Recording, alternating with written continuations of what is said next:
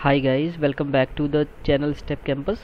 So this is a session 3 of nightwatch so in this video we are going to talk about the first script okay? So how first script can we write uh, can we write in using nightwatch okay?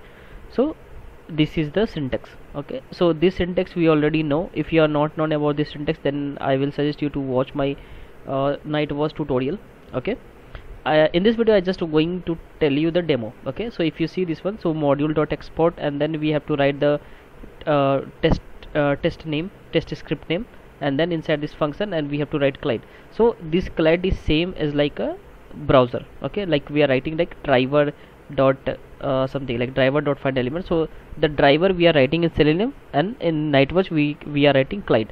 Either we can write client or we can write browser okay? Both are same okay now uh, we have to like we can see here so this is a first script. Now uh, sometimes they will ask you to write a script using function. So how can we write the script using function? So to write uh, any program using function we have to write, write like this. Uh, we have to write uh, this dot this dot. See module dot export we will remove and then we will uh, select this dot and then demo test google we can write. Okay?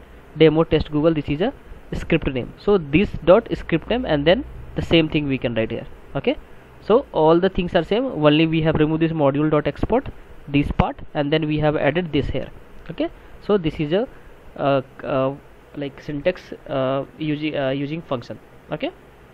Now how to run the script? Okay? We have written the script. Now how to run?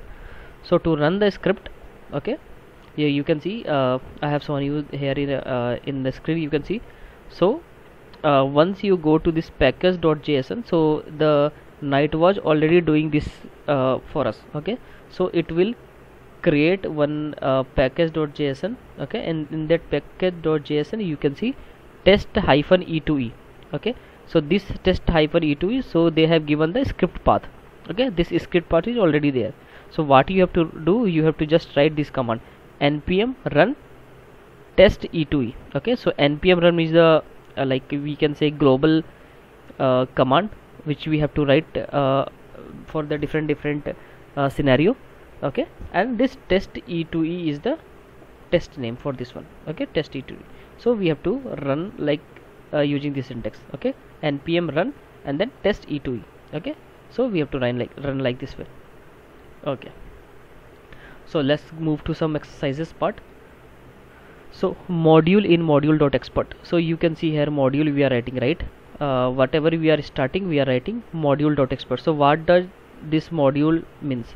Okay. So module means uh, it is either a variable or a object. So option a will be the answer. Now what is the command to run the script? Okay. So we have to run the script right? So we have to write npm and run. Okay. So option c will be the answer. Npm run will be there and nightwatch we are writing uh, at, at the addition. Okay? Now this in defining function stand for so what about this? This is a object. Okay? This is an object. Where is the run command defined in package.json so run command is defined in the script. So i will show you. So if you see so in the script uh, section you can see this test underscore as test hyphen e2 is defined okay? So answer will be scripts. Okay. So in the next video we will talk about the xpath and css okay? So that's all in this video guys. Thank you. Bye bye